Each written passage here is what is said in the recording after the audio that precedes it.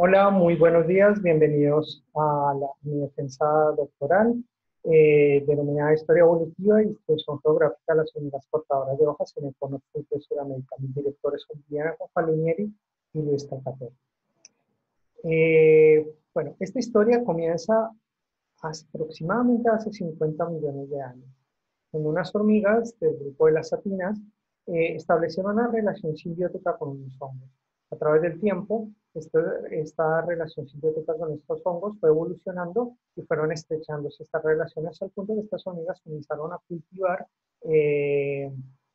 estos hongos para la alimentación de sus larvas y de parte de los adultos. Eh, estas hormigas eh,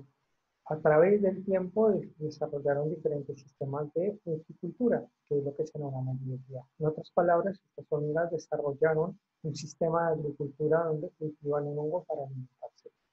Esta relación no ha sido única en insectos. También ha aparecido los trabajos de la ambrosía, la cual se conoce que ha aparecido al menos siete veces entre 20 y hace 60 millones de años. De estos hongos es donde estos, eh, estos escarabajos también cultivan de otra forma eh, estos hongos para la, alimentación. También conocemos el caso de las termitas, donde eh, algunas termitas de la familia Macrotermitine eh, cultivan hongos de la familia Termitomices eh, también justamente para eh, su alimentación. esto resulta bien interesante porque si miramos esto en el contexto temporal con el momento en que el hombre comenzó a desarrollar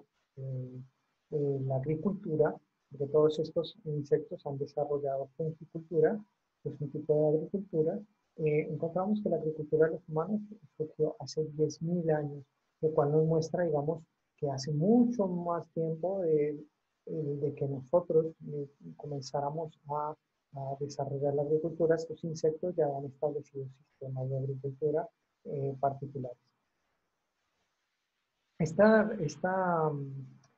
agricultura o agricultura por parte de las hormigas fue primeramente descrita por eh, dos naturalistas en el año de 1874, en donde, por ejemplo, Thomas Bell, en su libro Naturalista, Un naturalista en Nicaragua,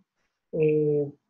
describe en gran detalle, incluso con algunos gráficos, las cámaras y los nidos y las hongueras de, estas, de algunas de estas especies de hormigas que se encuentran en el continente americano. Eh, también en una carta escribe Fritz Müller, también describe también con algún detalle que justamente esta relación Entonces, en ese mismo año, eh, estos dos naturalistas de manera, eh, cada uno por su parte, describen justamente esto. Dato interesante acá es que esta carta justamente de Müller fue enviada al propio Charles Darwin. estas hormigas cultivadoras de hongos han desarrollado diferentes sistemas de agricultura debido a la especialización que tienen o al tipo de sustratos que utilizan para poder cultivar su hongo. En este caso se conocen cinco sistemas de agricultura, en donde se puede definir el sistema de agricultura bajo, algunas que tienen un sistema de agricultura eh, de cultivan hongos coralinos, otras que cultivan levaduras, la agricultura alta que se define como la agricultura en donde los hongos ya tienen una relación obligada con eh, sus, hormigas eh, y eh, no pueden tener vida libre. Y las cultivadoras de hongos, que también digamos que hongos tienen las características de, de la de alta agricultura, pero adicional a esto, a diferencia del resto de las especies de las cultivadoras de hongos, las, las cortadoras de hojas se caracterizan porque eh, eh, cortan material vivo fresco de las plantas para cultivar su hongo. El resto de las cultivadoras de hongos no utilizan material vivo, sino utilizan otro tipo de material orgánico, puede estar en la jarasca, eh, que, van encontrando dependiendo de la especie, va variando el sustrato que utilizan, pero en particular estas cortadoras solo utilizan material. Eso podría sintetizar en términos filogenéticos, acá están los géneros que se conocen, en las relaciones filogenéticas, una pequeña síntesis que armado sobre las eh, relaciones filogenéticas que hay entre las hormigas cultivadoras de hongos. Y esto lo primero que se puede evidenciar es, primero importante mencionar es, porque hace 50 millones de años, como ya bien mencioné, y aparte de que surgió, esa vez ha surgido una sola vez. Y a partir de este sistema de agricultura abajo, se desprenden los otros sistemas de agricultura. Estas hormigas, eh, seguramente muchos las han visto, son muy conspicuas de ver y pues uno las ve haciendo esta actividad, cortando hojas. cortando hojas, formando caminos de forraje donde uno las puede ver llevando en gruesos caminos múltiples hojas en algunos momentos del día. Y eh, también tiene una característica y es que sus castas tienen un polimorfismo donde las diferentes obreras tienen diferentes tamaños dependiendo también de la función que cumplan y las, eh, los reproductores, la macho y la hembra, eh, la reina, como la llamar, eh,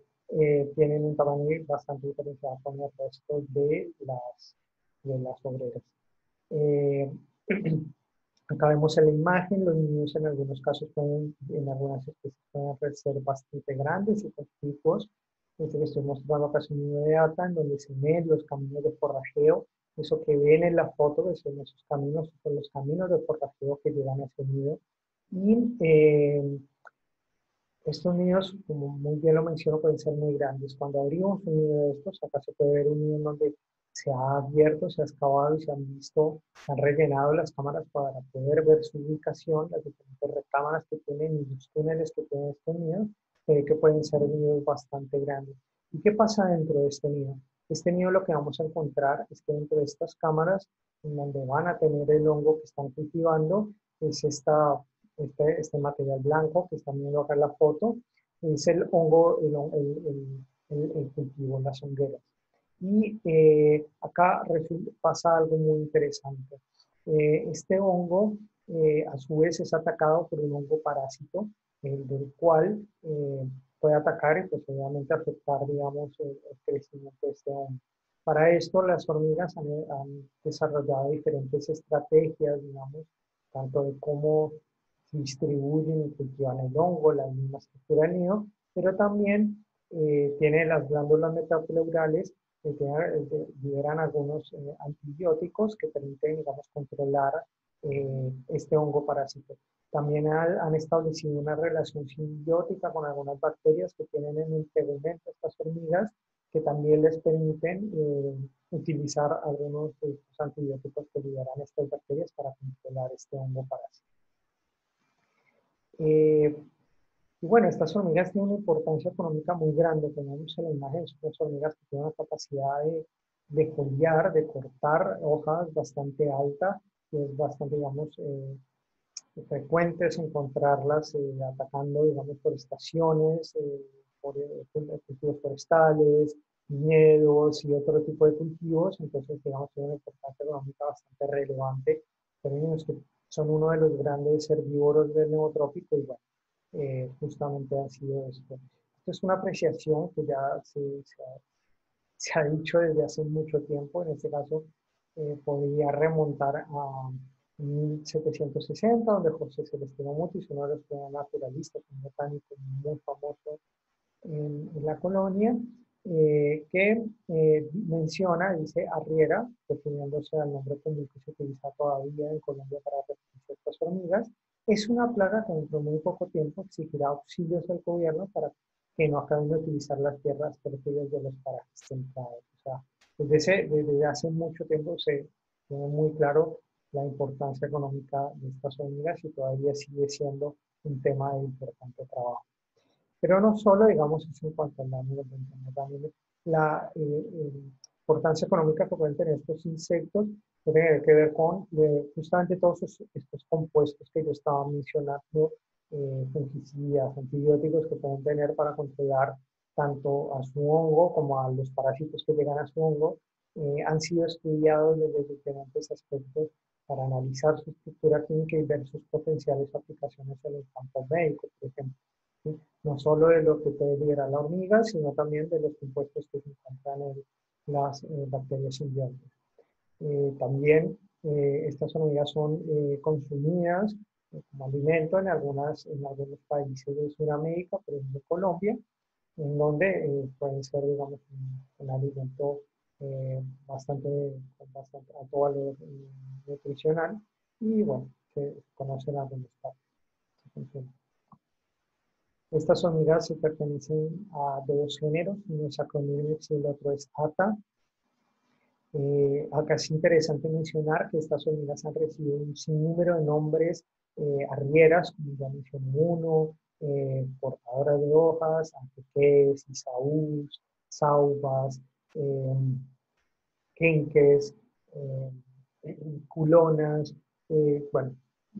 eso lo que quiere decir es que eh, han, han, recibido una importancia eh, en términos, digamos, de que son muy conspicuos y fáciles de reconocer. De hecho, algunos de estos nombres que menciono casi que refieren a solo uno de estos dos géneros, lo cual resulta eh, muy interesante porque eso indica que la gente incluso puede distinguirlos muy fácilmente. en el caso de Acromirmex se puede distinguir porque tiene tres pares de espinas en el mesosoma, mientras que ATA tiene dos, y Acrominox tiene tubérculos en, el cáster, mientras que ATA eh, lo tiene liso. Eh, en cuanto a los nidos, Acrominox presenta nidos más pequeños, menos populosos respecto a ATA. ATA tiene nidos masivos, grandes, usualmente populosos. Algunas especies pueden tener eh, nidos más pequeños, pero en general son nidos un poco más, mucho más grandes que los de Acrominox. Eh, también tiene alguna plasticidad como el tipo de que pueden tener en ambos casos, pero Acromimex en particular tiene un, gran repertorio de, de, arquitectónicos de nidos. En algunos casos eh, tienen domos de pastos o simplemente tienen alguna pequeña entrada con una pequeña torreta de pastos y simplemente un agujerito en medio de, del, este y la mayoría de, estos subterráneos. ¿no? Eh, o pueden tener alguna entrada con alguna formación de algún un pequeño eh, domo de tierra, un tumulto de tierra, eh, puede ser en ese caso. Eh, estas hormigas se distribuyen en toda América, del sur de Estados Unidos hasta la Patagonia para el caso de Acromirmex y de, y igualmente desde el sur de Estados Unidos hasta más o menos que sería el norte de Argentina. Eh, y gran una parte del centro del país. Eh, acá es importante mencionar el trabajo de Parque Brenner y Rojeiro en el 94 que estableció el rango de distribución de 14 especies de, de, ah, hormigas portadoras en Argentina y eh, resulta como un punto inicial para analizar justamente la distribución de estas especies en, en esta región. También es importante mencionar que si ven, digamos, en, los colores que se ven en estos mapas, eh, el mayor número de especies, entre más rojizo se encuentra, se encuentra asociado hacia eh, zonas, digamos, eh, hacia lo que sería el bosque atlántico, parte de Uruguay, Brasil, del sur del Brasil, norte de Argentina, es la zona con mayor diversidad de estas especies. En cuanto a lo que se conoce eh, sobre los estudios filogenéticos de estas especies, eh, la mayoría están relacionados con comprender la filogenia completa de las hormigas cultivadoras de hongos. Hasta el momento no se ha realizado una filogenia comprensiva de eh, las portadoras de hojas en particular, es decir, de los géneros Acromyrmex y algunas aproximaciones. Y acá puedo mencionar que en cuanto a las atinas, hay un estudio bastante completo que ha hecho Castetter en el 2017, en donde menciona pues que estas, las apinas, o sea, las cultivadoras de hongos, se originaron en áreas tropicales húmedas de la cuenca de Amazonas y que eh, surgieron hace 15 a 20 millones de años las hormigas portadoras. Eh, en cuanto a algunos eh, resultados interesantes que se han encontrado recientemente con las hormigas cultivadoras de hongos es en cuanto a la posición de Acominex striatus. Acominex striatus es una hormiga cortadora que tiene características morfológicas eh, combinadas, por así decirlo, entre eh, Ata y Acromirmex, es decir, tiene las espinas de Acromirmex, pero tiene, la, tiene el caster liso como Ata y eh, estudios eh, con genes nucleares y citogenéticos eh, han mostrado que este, esta especie conforma seguramente un grupo diferente a Ata y Ata. Cuanto al origen de estas hormigas, a partir de estos trabajos que he ido mencionando y a conocimiento que se tiene de la distribución de estas hormigas, se han establecido dos hipótesis. La primera es la hipótesis de Coneso-Fowler, donde establecen que estas hormigas debieron haberse, las hormigas portadoras de hojas debieron haberse originado en la región donde se encuentra la mayor diversidad de estas especies, es decir, en todo lo que sería el bosque atlántico, en la, en la mata atlántica, y de ahí se fueron dispersando hacia las otras regiones de su distribución, en este caso en una dispersión hacia el norte, cruzando por Norteamérica, llegando hasta,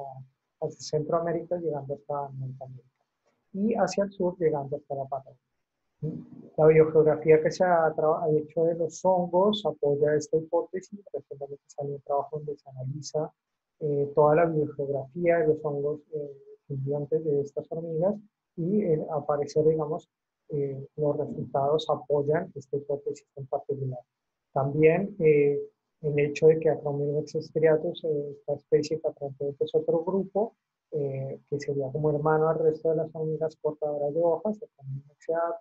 eh, es exclusiva de Sudamérica, también estaría apoyando esta hipótesis. Por otro lado, el trabajo que ya mencioné, Branstetter y colaboradores hicieron una filogenia con elementos supraconservados.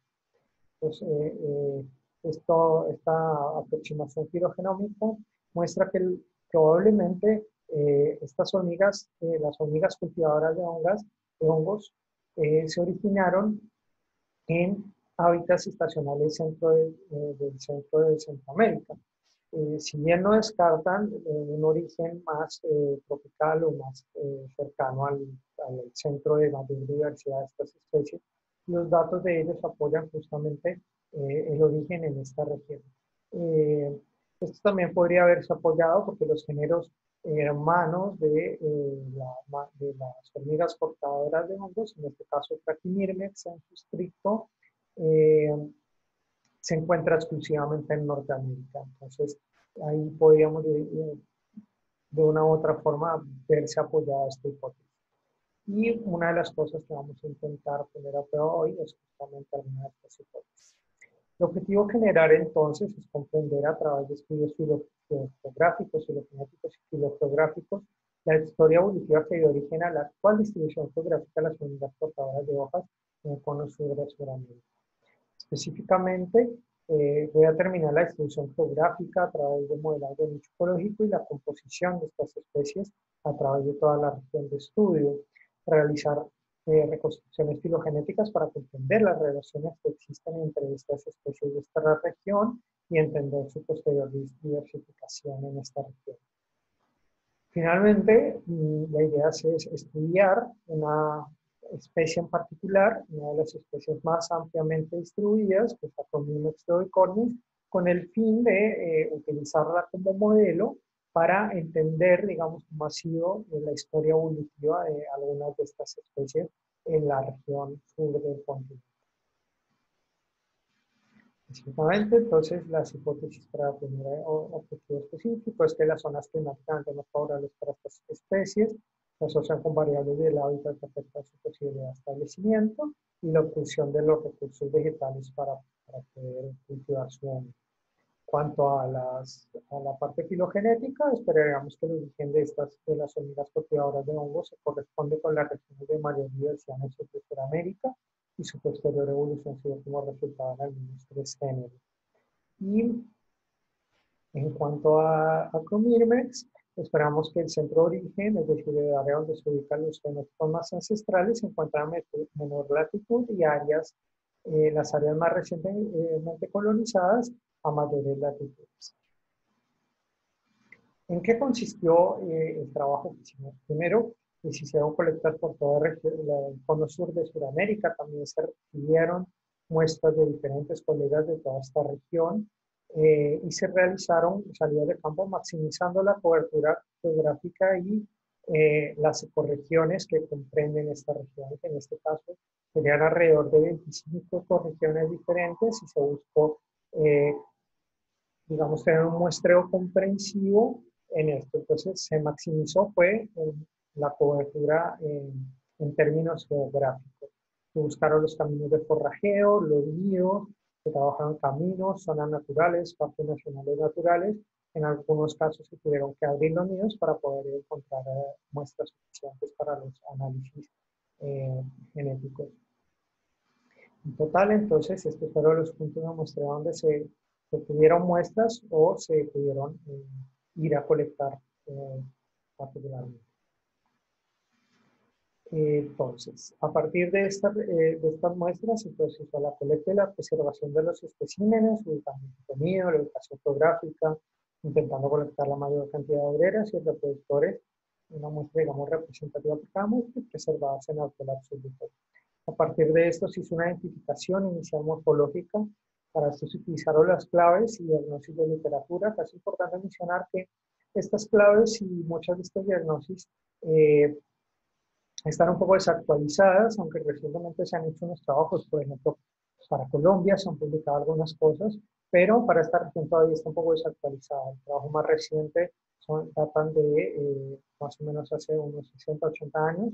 y eh, para esto lo que se hizo fue que, aunque si bien no era un objetivo de este trabajo, a partir de estas claves que ya existían y de las diagnosis que se conocían, se elaboraron unas claves preliminares para poder tener una identificación morfológica un poco más eh, eh, certera, digamos, más rigurosa. También se comparó con algunas colecciones biológicas, por ejemplo, por ejemplo, la colección del Museo de de Fernandino Rivadavia, Buenos Aires. A partir de estas muestras, entonces se seleccionaron especímenes para hacer los análisis filogenéticos y filográficos, se hicieron extracciones, hicieron amplificación a partir del PCR y secuenciación Sanger. Eh, se hizo una colección de referencia, un montaje en seco y también se hicieron fotografías de focus stacking para cada una de las especies que se encontró.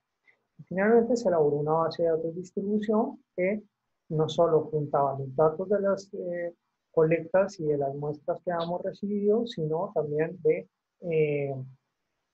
todo lo que se conocía en las bases de datos públicas y en la literatura. Entonces, en cuanto a la distribución geográfica, primer objetivo. Los datos de ocurrencia, como muy bien acabo de decirlo, vienen de las guías que realizamos, del material que recibimos de, de algunos eh, colegas de las bases de datos de diversidad, por ejemplo, el DB, de ANWeb. ANWeb es una web especializada creada por taxónomos y especialistas en, hormigas, en donde se encuentra una amplia eh, información sobre la distribución, la taxonomía, y en particular tengo un catálogo de fotografías importantes de las hormigas. Y también se eh, hizo un relevamiento en todas las publicaciones referentes a hormigas portadoras de hojas, la mayoría que se pudieron analizar, eh, para eh, encontrar, digamos, eh, registros de distribución de todas estas especies. toda esta información se reunió, se armó una matriz grande inicial, la cual fue procesada en particular para eliminar los registros dudosos, aquellos registros que no tenían coordenadas o que podían ser identificaciones dudosas, o sea, toda la información que tuviera alguna duda o que estuviera, tuviera algún error fue limpiada, fue descartada y se hizo una verificación de cada uno de los registros. Para eso se utilizó este flujo de trabajo que estoy mostrando acá, que no lo voy a explicar paso a paso, pero se hizo un flujo de trabajo estructurado para poder eh, justamente hacer este proceso de manera eh, sistemática y estructurada a partir de toda la matriz que se filtrada, que se, generó, esta matriz, digamos, ya limpia, se generaron matrices específicas para cada una de las especies, las cuales fueron utilizadas para la creación de los modelos de nicho ecológico y los mapas de distribución, según el caso de la cantidad de registros que se tuvieron. también se elaboraron matriz para el análisis de la composición de las especies. Entonces, ¿qué fue lo que se encontró? Primero se encontraron ya limpios. Eh, toda esta es información ya filtrada y seleccionada para la región de estudio. Encontraron datos de publicaciones, 1.360 atestados publicaciones, 1.172 de provenientes de bases de datos, 1.161 provenientes de ANWeb y finalmente datos propios se sumaron 1.000 datos a, esta, a este dataset completo. En cuanto a la composición de estas hormigas, acá lo que muestro es eh, unas celdas de un kilómetro de un grado cada uno y entre más eh, rojo esté, mayor número de especies se encuentran en ese punto en particular. Lo que observamos es que efectivamente la diversidad de estas especies corresponde con esta región que siempre se ha dicho que es la región de mayor diversidad de especies, que es eh, toda la parte del bosque atlántico entre el, sur de, Brasil, el norte de Argentina, la parte de Misiones, particularmente resulta bastante em, diversa y esta diversidad va disminuyendo en términos de latitud a medida hacia el sur. En términos longitudinales también se observa que hacia la cordillera la, esta diversidad va disminuyendo y también hacia la costa esta diversidad va disminuyendo. Son los dos factores en términos latitudinales y longitudinales. Utilizando eh, estas, esta grilla geográfica como si fuera cada una unidad de muestreo, entonces pudimos establecer y preguntarnos sobre qué tan eh, eficiente había sido, digamos, este muestreo eh, en términos de eh, la cantidad de especies que encontramos. Para esto se elaboró esta curva de acumulación de especies, donde encontramos aproximadamente 33 especies para esta región, de las cuales, respecto a los estimadores de riqueza, lo que vemos es que fue bastante eficiente. Es decir, hemos logrado cubrir más o menos casi todas las especies que se estimarían que existen para esta región según los datos presentados. Cuanto a los modelos de nicho ecológico, los modelos de nicho ecológico lo que hacen es presentar, eh, utilizar variables climáticas y establecer cuáles son aquellas áreas más idóneas para las especies utilizando diferentes algoritmos. En este caso utilicé un algoritmo de máxima entropía eh, con el programa Maxen, que lo, va, lo que va a encontrar son aquellas áreas que son más idóneas climáticamente para las especies a partir de eh, los datos de climas que tiene cada registro de presencia. Y estos fueron calibrados con un paquete eh, denominado QEM-NR, utilizando ocho variables de working y dos de eh, estos fueron 19 modelos climáticos que se encontraron para 19 especies diferentes y para las especies restantes que tenían pocos registros y por lo tanto no se podían elaborar los modelos, se simplemente graficaron mapas mostrando la distribución de los registros que se conocían. Eh, para poner un ejemplo en particular, para Chromir, Slow y Cornis, este es el mapa de distribución que se conocía eh, según el trabajo de Party, eh, Brenner y Rojeiro en el año 94. Cual vemos que es una distribución bastante amplia que va desde Corrientes hasta eh, Patagonia y desde básicamente la zona de toda la región chaqueña hasta también la Patagonia. Es una distribución bastante amplia eh, en, este trabajo. Para el caso del modelo encontrado en este trabajo, lo que encontramos es que hay dos núcleos fuertes de distribución de esta especie. Primero, una hacia toda la que sería la región del monte de, Argentina, donde después se ve como un pequeño eh, cruce que va hacia un gran núcleo que se encuentra eh, en eh, Uruguay y sur de Brasil y parte, digamos, de, Paraguay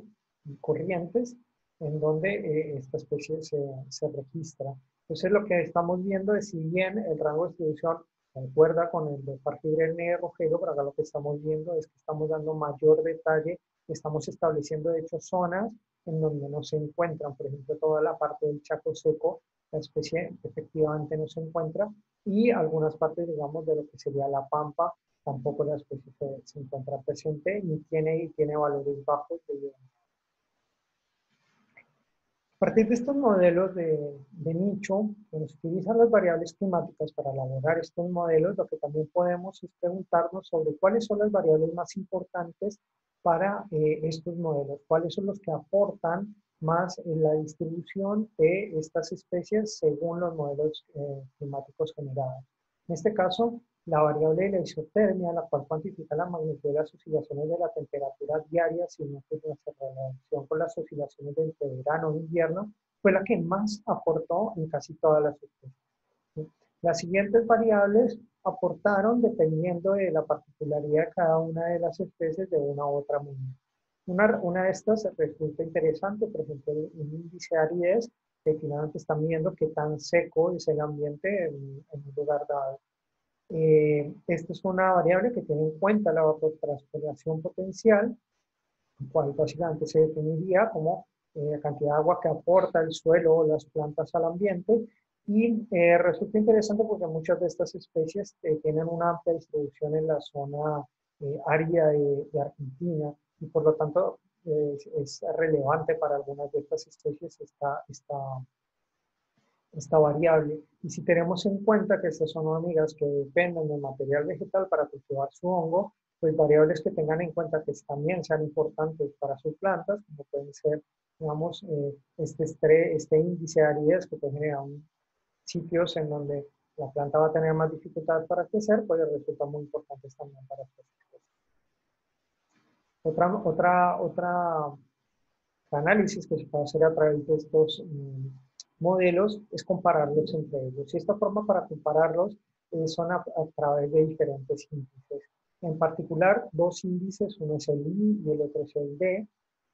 Lo que hacen es comparar, superponer estos dos, cada, eh, a pares de modelos,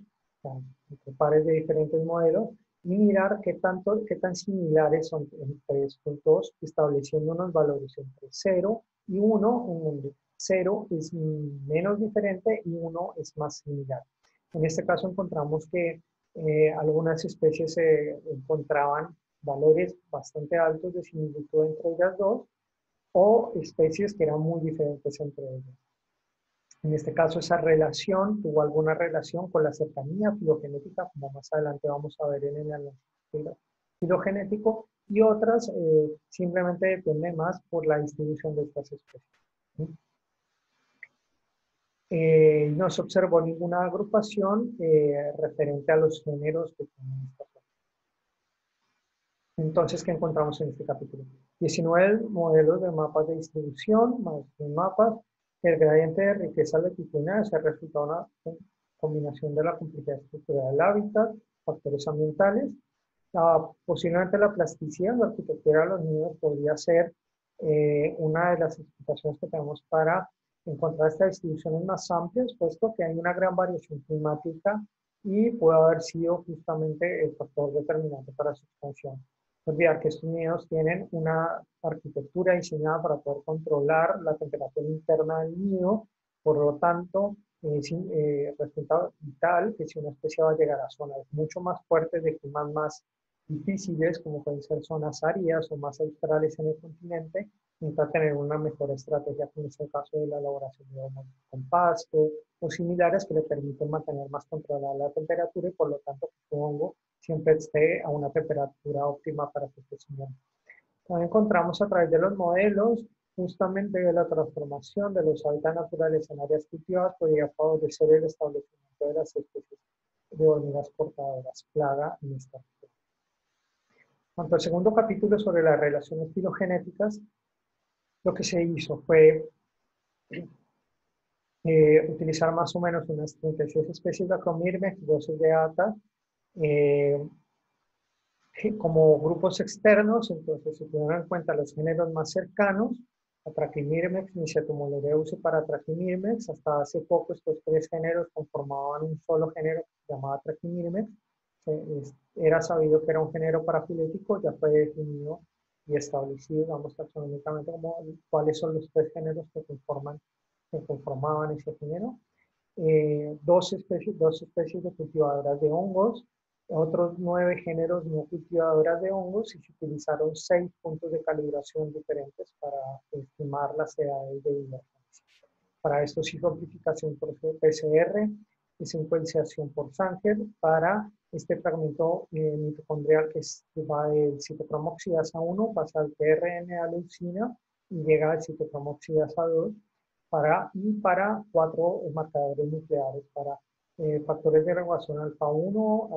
alfa F2, para wingless y para long wave process. Las secuencias fueron analizadas en Linux y alineadas para cada uno de los marcadores y se establecieron los modelos de distribución nucleotídica para cada una de ellas.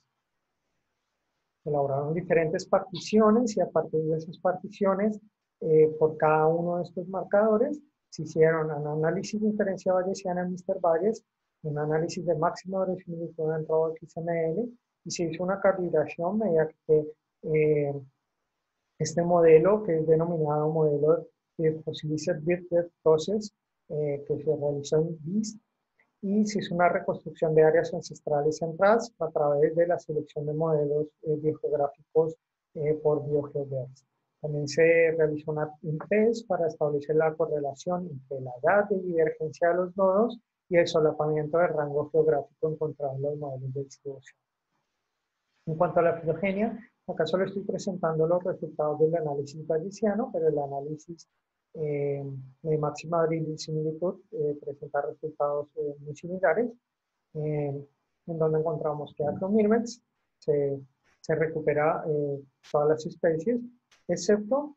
Acromirmex striatus, que efectivamente se comprueba que es un género diferente externo a Acromirmex y a ATA. Y ATA como grupo hermano justamente de Acromirmex y eh, eh, resulta interesante porque eh, tanto Trachomirmex como Acromirmex striatus eh, no, no, se resuelve muy bien cuál de los dos es el género hermano de eh, las hormigas cultivadoras de hongos. Los valores de, de, estos nodos son muy bajos y no nos permiten establecer cuál de los dos.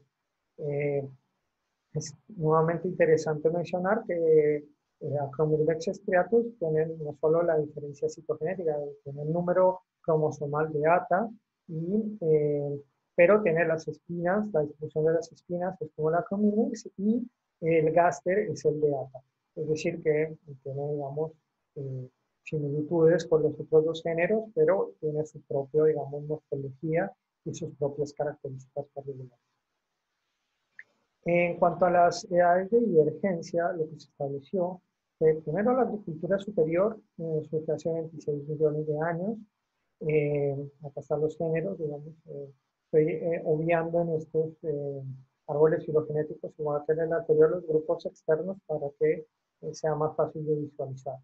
Trachimirmex para Trachimirmex se inició como Lereus, como los grupos más cercanos de, de Acomirmex, el género nuevo. La diversificación entre ATA y Acomirmex habrá sido hace 17 millones de años aproximadamente. ATA y surgir hace más o menos 10 millones de años y Acromirmex hace 15 millones de años. Em, en cuanto a la reconstrucción de áreas ancestrales, el mejor modelo fue el modelo de cladogénesis por dispersión y extinción, en el cual encontramos que los nodos más relevantes nos muestran que eh, las áreas más ancestrales importantes serían comprendidas entre el Cerrado, las provincias bolivianas y el norte de Sudamérica, acá refiriéndome a norte de Sudamérica, sobre todo a lo que sería como la cuenca del Amazonas.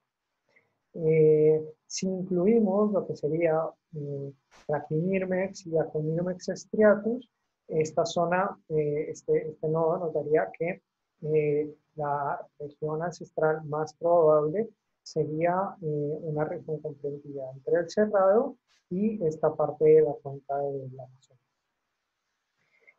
También estos eh, resultados filogenéticos nos permitieron eh, probar eh, una,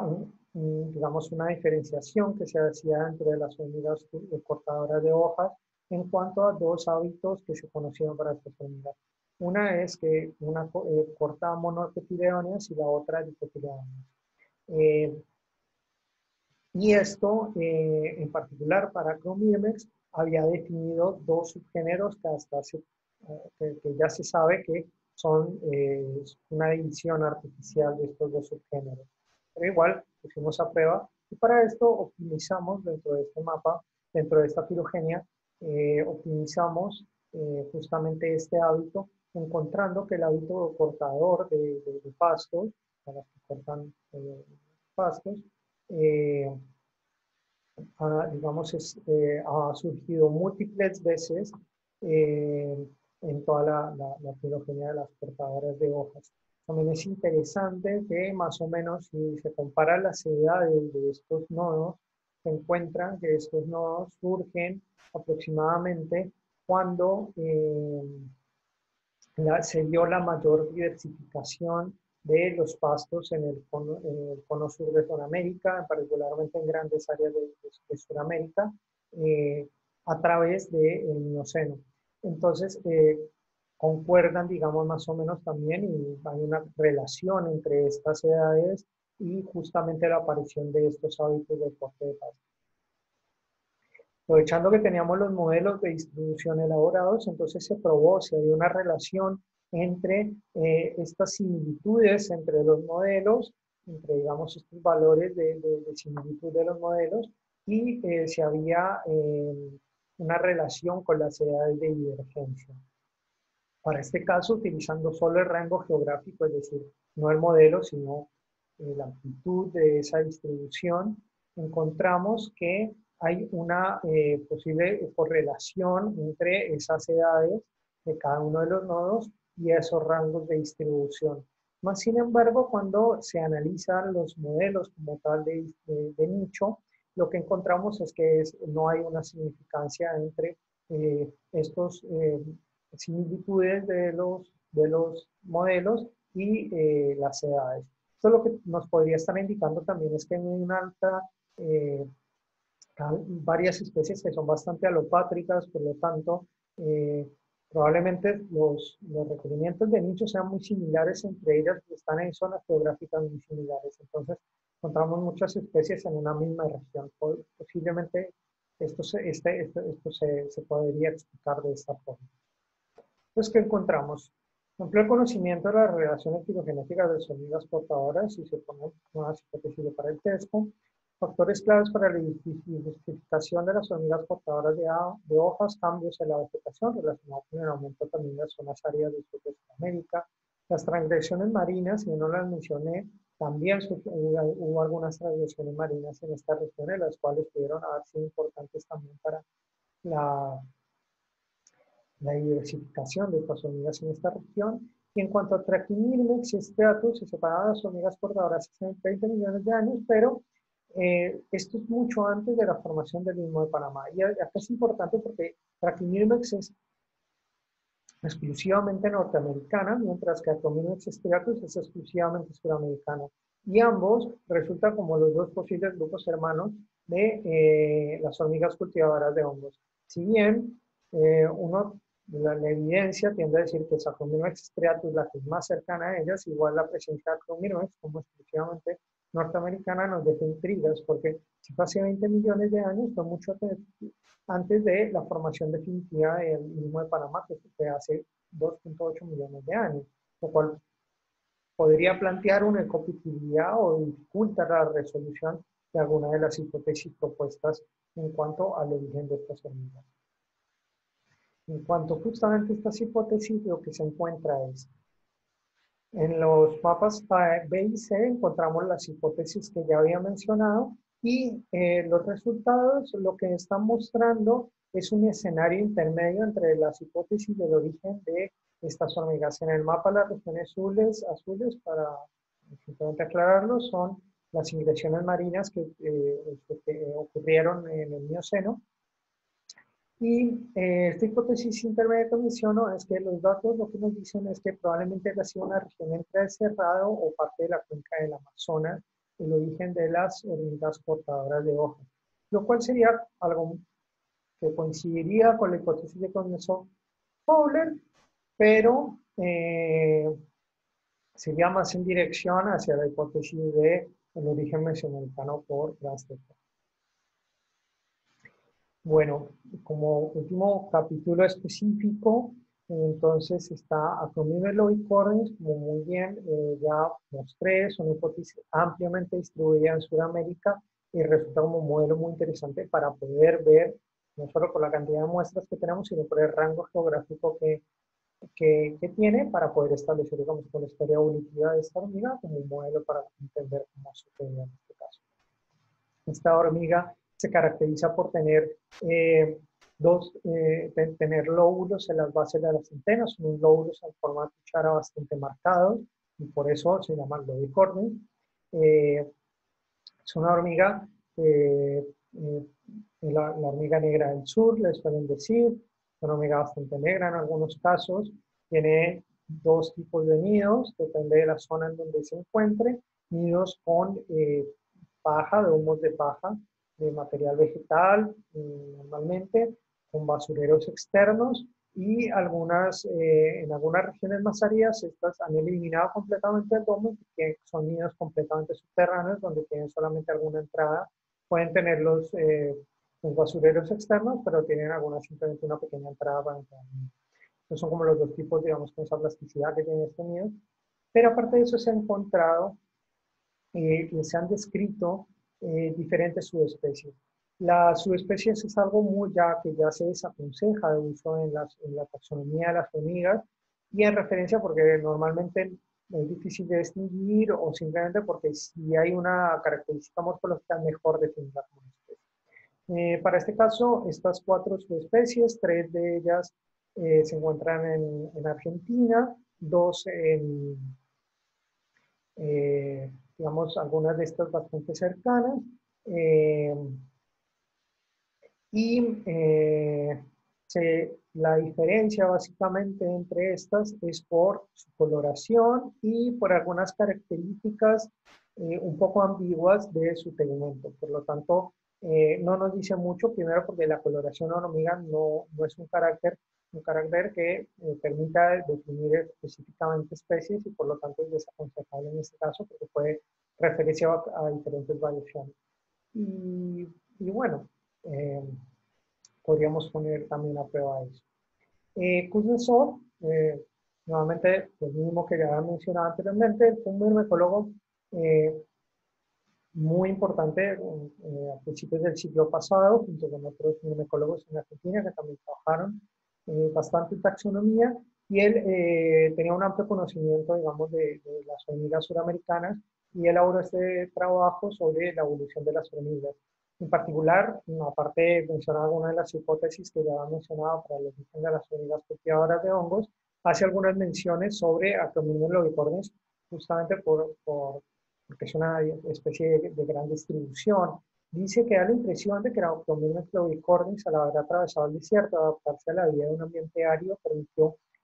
que algo de su patrimonio hereditario le permitiera vivir en el ambiente húmedo del litoral. Sea, él está suponiendo de una u otra forma, ya es una interpretación un poco mía, esta hormiga surgió en zonas más húmedas y fue, eh,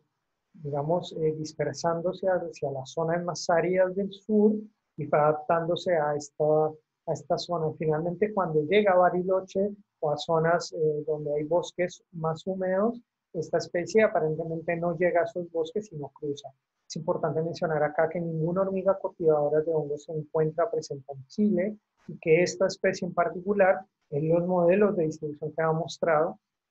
tiene valores de, ambientales en que se podría distribuir en esta región. Aparte de eso, eh, se encuentran, digamos, como a puertas de entrar a, Chile, pero no lo, no lo, ha hecho todavía. Entonces, justamente por eso eso se hace esta pregunta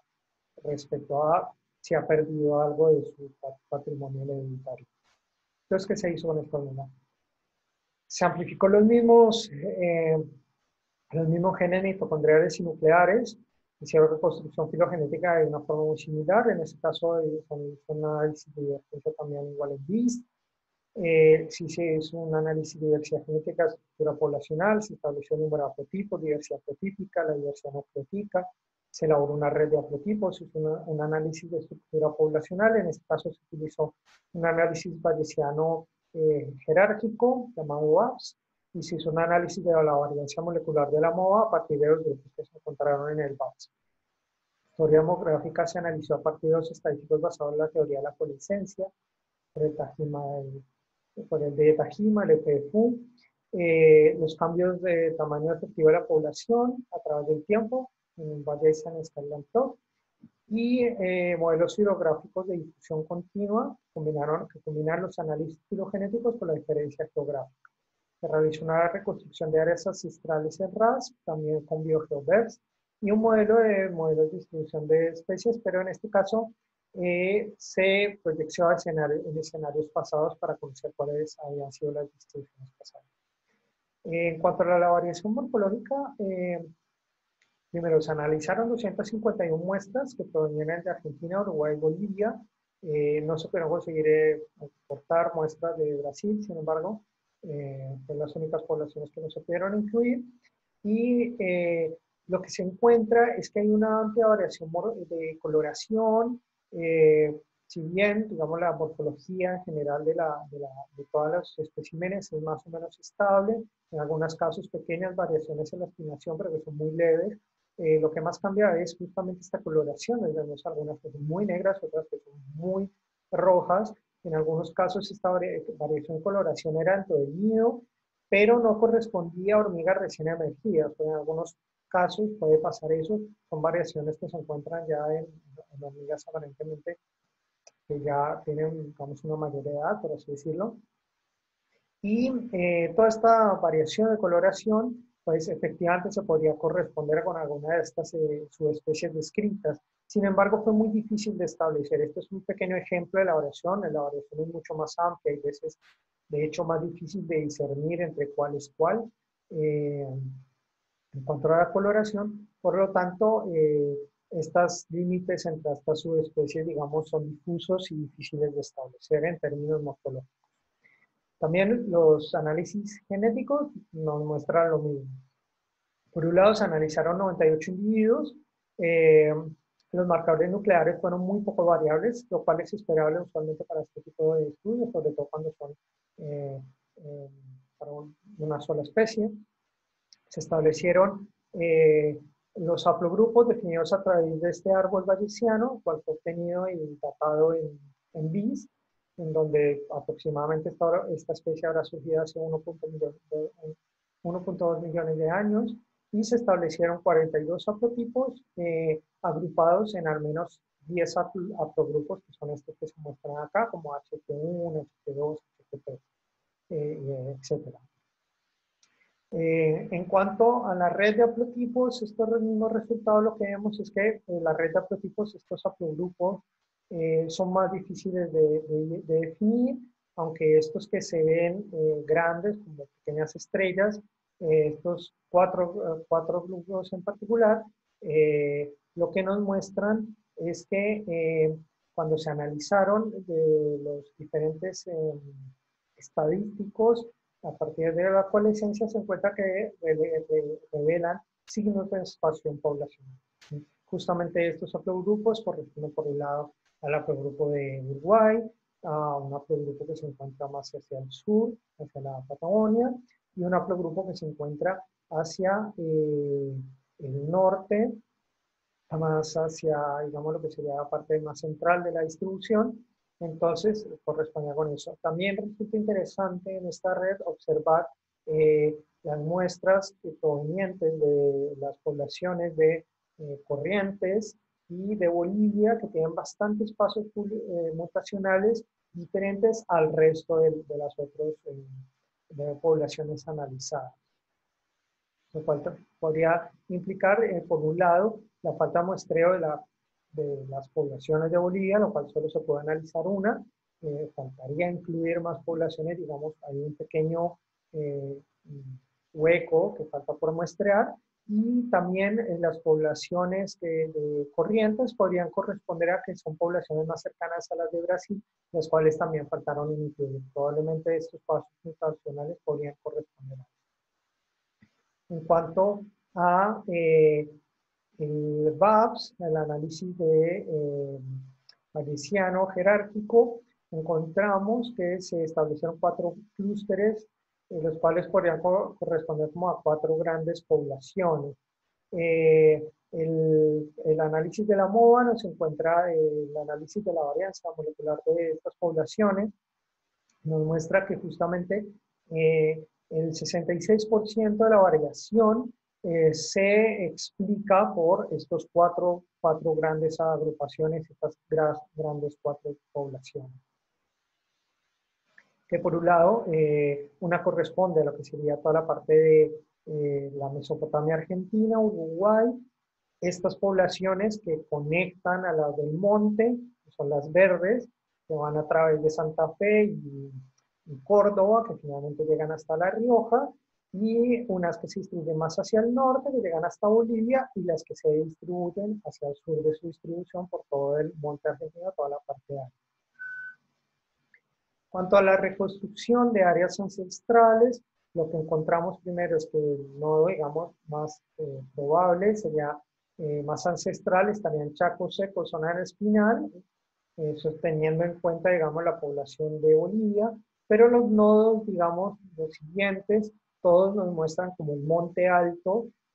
esta región, en La Rioja y parte, digamos, de la parte de la corriente baja del Chaco Seco, está, está, corrigiendo Monte Alto, como en la zona más probable de, la, la, zona el área más ancestral, digamos, de, de, esta, de esta especie. En particular, digamos, en más detalle, esto como se ve, vamos para ese grupo, ¿sí? Eh, sería también Monte Alto, tenemos este otro acá igual, Monte Alto, este siguiente grupo, Monte Alto nuevamente, y este otro grupo también es más probable sería Monte Alto que parte de Monte Bajo. Esto es lo que nos está indicando, entonces es justamente sería el área más probable eh, ancestral. Entonces, eh, se vio también en el análisis eh, filogeográfico de difusión continua, donde justamente todos estos resultados se encuentran, vamos, con la parte geográfica para analizarlo. Acá lo que vamos a ver en el video es cómo a partir de esta zona probablemente ancestral, eh, esta especie se dispersa hacia Uruguay por un lado, hacia el norte y hacia el sur, y después en cada una de estas regiones dispersa como existen como estas expansiones, probablemente correspondan a estas expansiones poblacionales que hay en alguna de estas regiones. Para el análisis eh, del Valdesian Skyline, o sea, el tamaño poblacional efectivo a través del tiempo. Es este gráfico que encontramos aquí arriba a la derecha. Lo que encontramos es que efectivamente hace más o menos entre 0.1 y 0.2 millones de años eh, se, hay un aumento, digamos, en esa expansión, eh, en ese tamaño eh, efectivo de la población, lo cual podría corresponder con estas expansiones poblacionales que hay después de que se dispersa a cada una de estas regiones. En cuanto a los modelos de distribución hacia el pasado, encontramos que las zonas, digamos, hacia, hacia el pasado más probables se encuentran en algunas zonas del monte, efectivamente, y sobre todo los modelos climáticos nos muestran eh, una altas probabilidades en lo que sería la región de Uruguay. Eh, ¿Qué encontramos entonces para Cromirmex lobicornis? Primero que deben ser sinonimizadas las subespecies, ya que no hay evidencias genéticas ni morfológicas que les distingan como entidades diferentes. Acromirmelo bicornis habría surgido en regiones áridas, probablemente en Monte Alto, en Argentina, hace hace 0.1 millones de años, se habría dispersado a lo largo de la diagonal argentina, también utilizando la parte espinal para llegar hacia Uruguay y esto es un escenario completamente diferente a la hipótesis que previamente habíamos, había mencionado al principio de este capítulo, donde esperábamos que hubiera surgido en zonas más húmedas y se hubiera dispersado hacia zonas más secas. Lo cual es, un escenario diferente y es un escenario no solo diferente, sino muy interesante en cuanto a los resultados que hemos visto de, em, de la filogenia y el origen de las hormigas portadoras de hojas. Puesto que la mayoría de las especies se encuentran, en el origen de estas especies, sobre todo las especies hermanas a Promimelo y Cornis, eh, tienen su centro de distribución y de origen en eh, el bosque atlántico. Por lo tanto, esta especie al estar en una zona, digamos, mucho más lejana, lo que deja la pregunta es cómo llegó ahí el ancestro común eh, que dio origen a esta especie. Sufrió expansiones poblacionales que ocurrido hace 0.6 a 0 2 millones de años con, eh, son congruentes con el incremento de tamaño poblacional y lo observado en el BPS. Conclusiones generales entonces. Los análisis de distribución y modelos de nicho ecológico apoyan hipótesis propuestas, donde zonas climáticamente más adecuadas a las hormigas portadoras se asocian con variables como el régimen de lluvias y la variación en la temperatura. Se confirman evidencias previas de que las hormigas que están constituidas por al menos tres géneros, en este caso estaría Acromyrmex striatus, pero también podríamos sumar Acromyrmex silvestre, una, una, especie poco conocida, eh, que eh, tiene una morfología muy similar a la de Acromyrmex striatus, de hecho son muy difíciles a veces de distinguir. Eh, probablemente estas dos especies, e incluso potencialmente por algunos resultados preliminares, al menos dos especies más o una especie más, estarían conformando este nuevo género. Y la dispersión de Acromyrmex corni sería un patrón histórico novedoso, como ya mencioné, eh, probablemente con su centro de origen en, en Monte Alto, en Argentina. Efectivamente, las hormigas cortadoras de origen tendrían un origen en Sudamérica, eh, pero estaría más asociado con la cuenca del río Amazonas. Una hipótesis intermedia a las anteriormente mencionadas. La posición de los grupos hermanos como Trachimirmes en sentido estricto, que es exclusivamente norteamericana, y Acromyrmex striatus, que es exclusivamente sudamericana, sigue siendo un punto fundamental, o sea, entender la posición de estas, estos dos grupos para entender el, eh, comprender los orígenes de las hormigas cortadoras de hojas. El surgimiento y diversificación de las hormigas cortadoras de hojas habrían sido estimulados por los cambios de vegetación durante el Mioceno medio tardío las cuales aumentó la diversidad de taxones xerofíticos a causa de los eventos tectónicos y climáticos. Importante mencionar como productos ya relacionados de esta tesis, siempre hay cosas que surgen. Primero, los, los artículos que van a surgir de estos, que están en proceso de, publicarse, de todos estos capítulos que he mencionado, y eh, este artículo que ya está publicado, que es de la distribución de las hormigas cortadoras en el noreste argentino. También a partir de los datos de, de distribución se ha podido elaborar una, una pequeña base de, de, datos de hormigas elaborar un mapa que algún momento espero pueda ser una aplicación de consulta web en donde se puedan observar justamente todos los datos y distribuciones de estas hormigas. Y finalmente, eh, a partir de, la revisión, digamos, de, de material de colección, como el material colectado y la parte morfológica que se analizó para su identificación, se elaboraron unas claves taxonómicas eh, para todas las especies de esta región de Sudamérica. Y bueno, próximos pasos, entonces, eh, como parte de, mi próxima tesis postdoctoral, de trabajo postdoctoral,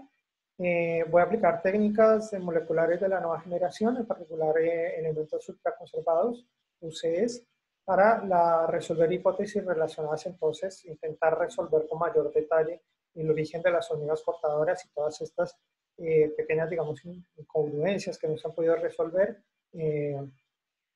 lo resolver. Para este caso, la inclusión de más especies en el, el área completa de distribución de, de data de Acromirmex como de un mayor muestreo, digamos, taxonómico que pueda hacer y en conjunción con el trabajo de otros colaboradores de diferentes áreas y diferentes regiones que vamos a aportar en el trabajo para resolver esto. Eh, queda la duda entonces la presencia del ancestro más común de Acromyrmex lobicornis para poder resolver efectivamente esta región y este patrón novedoso que se encuentra de su origen y cómo en futuro este, este, esta especie podría ser muy importante para la región en términos económicos, eh, para viñedos y demás, y si posiblemente esta especie eh, va a entrar finalmente a Chile ya que está a puertas de poder entrar. Eh, bueno, quiero agradecer a todas las instituciones que han aportado a esta tesis, a la facultad de, Ciencias Exactas y Naturales de la Universidad de Buenos Aires, al Departamento de Ecología Genética de Evolución, por todo, digamos, su, apoyo y,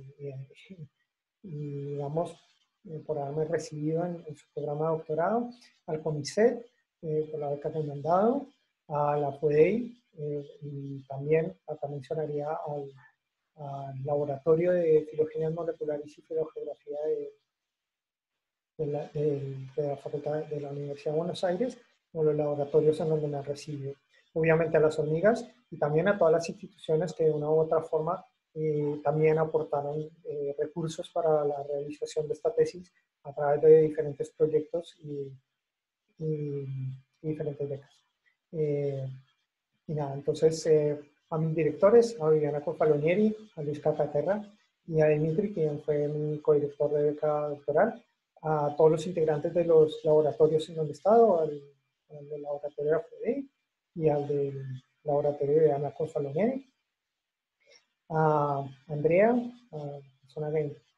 más quiero en el mundo, a mi esposa, eh, por su apoyo, su compañía siempre, por todo el amor que me ha dado y el apoyo y la fuerza que me ha dado en este tiempo para eh, realizar este doctorado. A mi, a mi madre a y a mi padre, que siempre han estado ahí, porque mi madre siempre me ha apoyado en todo, y a mi familia, por, pues, siempre han estado ahí delante de mí y siempre han estado apoyándome en todo. Y pues a todos mis amigos y colegas y mm, compañeros de laboratorio, eh, también colegas que me han acompañado a la salida de campo y que han estado, digamos, eh, presentes de una u otra forma en, este tiempo durante esta década. muchas gracias.